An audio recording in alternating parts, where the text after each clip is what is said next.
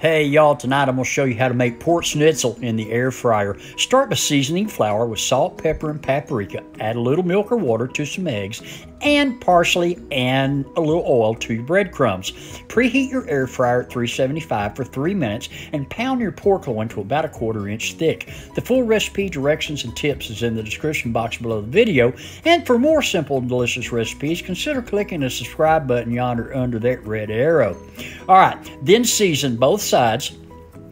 Dredge in the flour, then the egg wash, then the breadcrumbs, pressing it in on both sides. Spray your crisper with nonstick spray and air fry your cutlet at 375 for 10 minutes. Make your cornmeal gravy. The video link of how to do that is listed right above. Just click on that and check that out. At the five minute mark, give her a flip. Cook five more minutes. Plate up cover it in your cornmeal gravy, and enjoy a great dinner. Thanks for stopping by. Leave a comment. I'll answer every one of you. But until next time, bye bye, y'all.